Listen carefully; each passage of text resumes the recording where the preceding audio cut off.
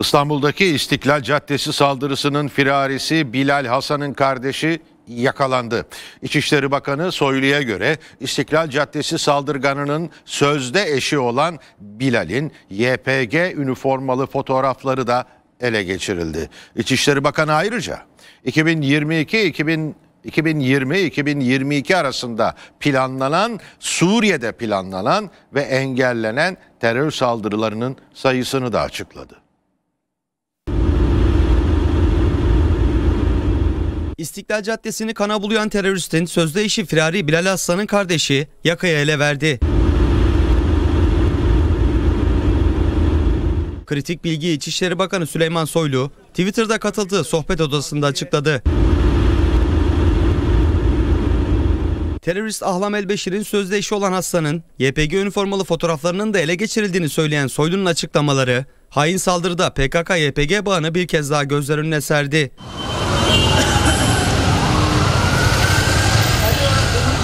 İçişleri Bakanı Suriye'de planlanan ve Türkiye'ye hedef alan terör saldırılarıyla ilgili çarpıcı bilgiler paylaştı.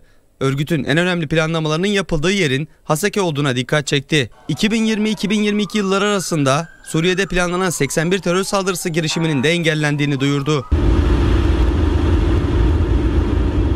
Bayrampaşa, Harem ve Anıtkabir'e yapılması planlanan saldırıları engellediklerini duyuran Bakan Soylu, Bayrampaşa için eğer biz saldırganı yakalamamış olsaydık Bayrampaşa Forum AVM'de tarihin en büyük patlamalarından birisi gerçekleşmiş olacaktı dedi.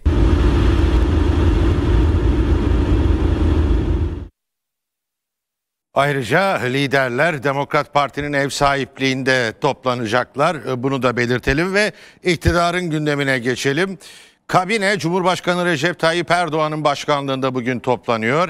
Uzun bir aradan sonra terörle mücadele ilk kez bir numaralı gündem maddesi kara harekatı, olası kara harekatı konuşulacak. O arada EYT konusu masada, sözleşmelilerin kadroya alınması konusu gündemde. Bir de Ticaret Bakanı'nın fahiş fiyatlarla ilgili olarak alınacak tedbirler konusunda bir sunum yapması bekleniyor. Cumhurbaşkanı e, bir süre önce bu kabine toplantısını işaret ederek bu konuya değinmişti.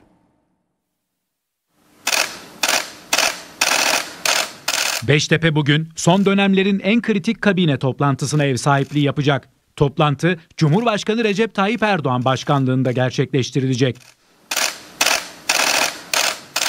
Gündemdeki en önemli başlık terörle mücadele. Pençe Kılıç hava harekatı devam ederken Cumhurbaşkanı Erdoğan kara harekatı sinyali vermişti. Bölgedeki son durum ve harekata ilişkin yol haritası masaya yatırılacak. Milyonların merakla beklediği emeklilikte yaşa takılanlar düzenlemesi, sözleşmeli personel ile taşeron ve geçici işçilerin durumu da masadaki konular arasında. Çalışma ve Sosyal Güvenlik Bakanı Vedat Bilgin, kamudaki tüm sözleşmeli personeli kapsayan düzenlemenin kabine toplantısında ele alınacağını duyurdu. Bu kapsamda düzenlemenin son hali görüşülecek. Başörtüsüne anayasal güvence sağlayacak değişiklik kabine toplantısında öne çıkan bir diğer başlık. Teklif henüz meclis başkanlığına sunulmadı. Bu kapsamda sürecin yol haritası ele alınacak, referandum seçeneğine ilişkin istişareler yapılacak.